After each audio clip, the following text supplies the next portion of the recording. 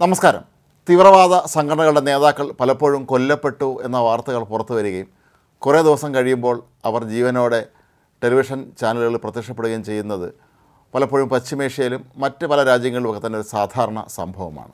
പശ്ചിമേഷ്യയിൽ ഇപ്പോൾ നടക്കുന്ന സംഘർഷങ്ങളുമായൊക്കെ ബന്ധപ്പെട്ട് ഹമാസിന്റെ തലവൻ യാഹ്യ സിൻവർ കൊല്ലപ്പെട്ടതായി പലപ്പോഴും സൂചനകൾ പുറത്തു വന്നിരുന്നു എങ്കിലും അത് സംബന്ധിച്ച് യാതൊരു തരത്തിലുള്ള സ്ഥിരീകരണവും ഉണ്ടായിട്ടില്ല. ഒടുവിൽ അമേരിക്ക ഒരു കാര്യത്തിൽ സ്ഥിരീകരണം നടത്തിയിരിക്കുകയാണ്. യാഹ്യ സിൻവർ കൊല്ലപ്പെട്ടിട്ടില്ല. അയാൾ ജീവനോടെ തന്നെ ഉണ്ട് എന്നും ഗാസയിലെ ഭൂഗർഭ തുരങ്കങ്ങളിൽ വളരെ സുരക്ഷിതനായി ഇരിക്കുകയാണ് എന്നുമാണ് അമേരിക്ക ഇപ്പോൾ ഈ വിവരം പുറത്തുവിട്ടിരിക്കുന്നത്.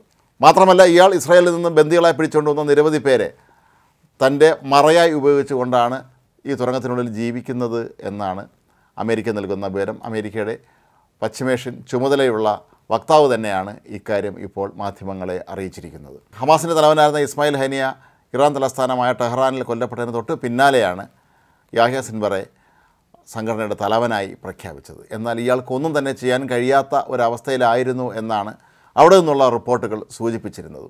എന്നാൽ ഇപ്പോൾ ഇയാൾ അണികളുമായി നിരന്തരം ബന്ധം പുലർത്തുന്നുണ്ട് എന്ന് തന്നെയാണ് അമേരിക്ക നൽകുന്ന വിവരം. മാത്രവുമല്ല പരമാവധി ഇസ്രയേൽ ചാവേർ ആക്രമണങ്ങൾ നടത്താൻ ഇയാൾ തന്റെ അനുയായികളോട് ആഹ്വാനം ചെയ്യുന്നുണ്ട് എന്നും അമേരിക്ക മുന്നറിയിപ്പ് നൽകിയിട്ടുണ്ട്. ഗാസയിലെ കശാപ്പുകാരൻ എന്നാണ് യാഹ്യ സെന്നർ പൊതുവെ അറിയപ്പെടുന്നത്. അതുകൊണ്ട് തന്നെ ഇയാളെ എന്ത് വില കൊടുത്തും പിടികൂടുക എന്നുള്ളത് ഇസ്രയേലിന്റെ ഒരു അഭിമാനത്തിന്റെ പ്രശ്നമാണ്. പലതവണ ഇസ്രായേൽ സൈന്യം ഇയാളെ പിടികൂടാൻ ശ്രമിച്ചിട്ടുണ്ട് എങ്കിലും തലനാരിഴയ്ക്ക് രക്ഷപ്പെടുകയായിരുന്നു പതിവ്.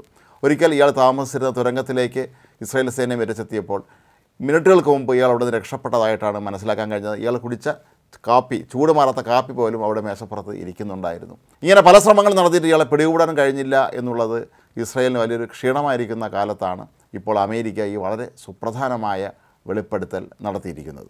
നിലവിൽ ഹമാസിന്റെ കസ്റ്റഡിയിലുള്ള നൂറ്റി ഒന്ന് ഇസ്രയേൽ ബന്ദികളെ വിട്ടയക്കാൻ യാഹ്യ സിൻവർ തയ്യാറായാൽ ആ നിമിഷം ഇസ്രയേൽ യുദ്ധം അവസാനിപ്പിക്കുമെന്നാണ് അമേരിക്കയുടെയും പ്രതീക്ഷ.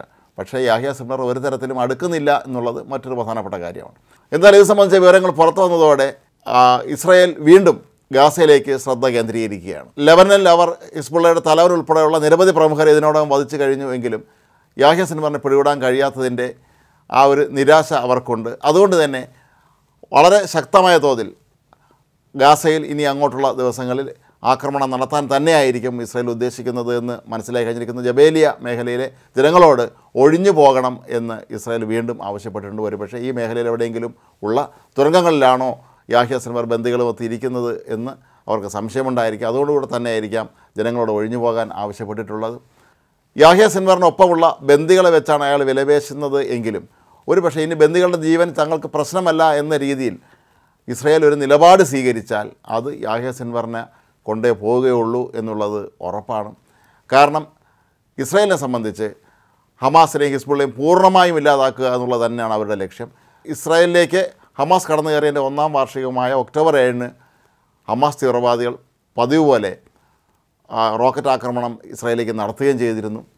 എന്നിട്ടും ഇസ്രായേൽ ആ ദിവസങ്ങളിലൊക്കെ തന്നെ ലെബനനിൽ നടത്തിയ അവരുടെ സൈനിക നടപടിയിലായിരുന്നു ശ്രദ്ധ കേന്ദ്രീകരിച്ചിരുന്നത്. അതുകൊണ്ട് തന്നെ ഇനി അങ്ങോട്ട് ഒരു പക്ഷേ യാഹ്യ സിൻവറിനെ പിടികൂടാനുള്ള ശ്രമങ്ങൾ അവർ നടത്തുമെന്നുള്ളത് ഉറപ്പാണ്. കുറേ മാസങ്ങൾക്ക് മുമ്പ് യാഹ്യ സിൻവർ ഒരു തുരങ്കത്തിനുള്ളിലൂടെ അയാളെ കുടുംബാംഗങ്ങളൊത്ത് കടന്നു പോകുന്നതിന്റെ ദൃശ്യങ്ങളൊക്കെ പുറത്തു വന്നിരുന്നു. എങ്കിലും അയാളെ പിടികൂടാൻ ഇനിയും കഴിഞ്ഞിട്ടില്ല എന്നുള്ളത് തന്നെയാണ്.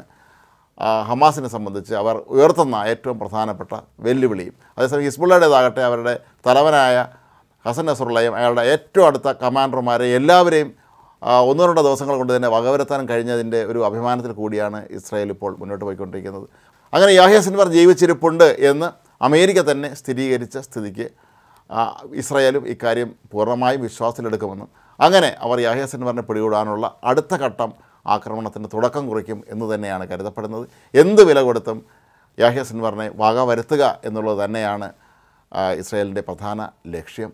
എങ്കിൽ മാത്രമേ അവരുടെ ഈ ഒരു ദൗത്യം പൂർത്തിയാവുകയുള്ളൂ എന്നും ഇസ്രായേൽ ഭരണാധികാരികൾക്ക് നന്നായിട്ടറിയാം. യാഹ്യ സിൻബറിന്റെ വധം തന്നെയായിരിക്കാം ഒരു പക്ഷേ ബെഞ്ചമിൻ നദന്യാഹുവും ഇപ്പോഴും ലക്ഷ്യമിടുന്നത്. ഐക്യരാഷ്ട്രസഭയിൽ പ്രസംഗിച്ചപ്പോഴെല്ലാം തന്നെ തീവ്രവാദികൾക്കെതിരായ നിലപാടിൽ ഞങ്ങൾ മാറ്റം വരുത്തില്ല എന്ന് അസന്നിഗ്ധമായി പ്രഖ്യാപിച്ചിട്ടാണ് നദന്യാഹു മടങ്ങി വന്നത്. അതുകൊണ്ട് തന്നെ അമേരിക്കയുടെ ഈ വാക്കുകൾ മുഖവിലേക്ക് എടുത്തുകൊണ്ട് ഇസ്രായേൽ ഇനി അങ്ങോട്ടുള്ള ദിവസങ്ങളിൽ യാഹിയ സിൻബറിനെ പിടികൂടാനുള്ള ശ്രമം ശക്തമാക്കും എന്നുള്ളത് തീർച്ചയാണ്.